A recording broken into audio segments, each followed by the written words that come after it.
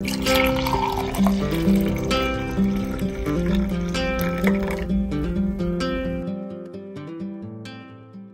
morning and welcome to Grounded. Do you trust Jesus? Like, do you truly, truly trust Jesus? Do you truly depend upon him? As you may know, we're in our Worship Through the Decades series, and today's song, Through It All, was written by Andraé Crouch in 1995. Now, this song pretty much sums up his life of trials and struggles, but also some triumphs as well. As a child, Crouch struggled with dyslexia and he had to overcome stuttering. But the most difficult times of his life came when his family members passed away in the span of just two years. And first it was his mother, followed by his father, and then his brother. Now, as you can probably imagine and even understand, he went through a time of expressing anger toward God and having a hard time trusting him. And then one day during prayer, he laid it all out before the Lord and he confessed his feelings of grief and loss during this time with the Lord. And he felt God strongly urging him to praise him. And Crouch admitted that he initially um, felt as though he couldn't do it. And he cried out to God, I can't praise you going through like this. I just can't. I, I don't feel like it. But as the time passed on, he did give in and he began to thank Jesus and he began to praise him. And it was in that moment that he was completely overwhelmed by the joy of the Lord. And Crouch said that he learned a valuable lesson that day about the power of praise. He said, If depression comes for anything, learn to praise him. Amen. Wow, that's so powerful. Uh, the joy of the Lord really is our strength. Amen. James chapter 1, verses 2 through 4 says, Count it all joy, my brothers, when you meet trials of various kinds. For you know that the testing of your faith produces steadfastness.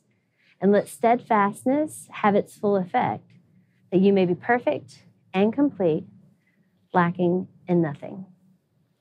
Another great promise um, that I love actually comes from Proverbs chapter 3, verses 5 through 6. It says, Trust in the Lord with all of your heart and don't lean on your own understanding, but in all your ways acknowledge Him, and He will make your paths straight. Mm. So, what's the one thing that you need to trust God with today? Think about it, pray about it, and then just trust God with it. Mm. Amen. That's so good. Let's pray together. Heavenly Father, I just want to lift up everyone um, within the reach of my voice this morning. Father, I thank you that you have given us the grace to trust you, Father.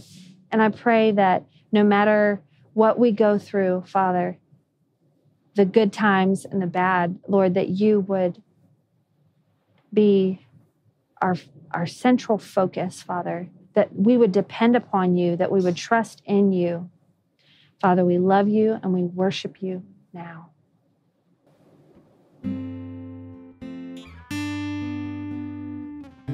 I've had tears and sorrow. I've had questions for tomorrow. There have been times I didn't know right But in every situation, God gave blessed consolation that my trials come to only make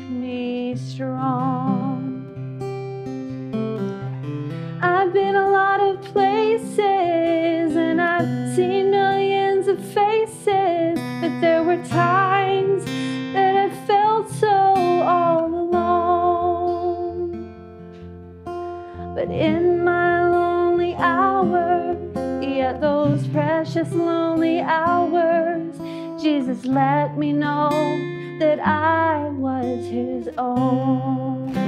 That's why I sing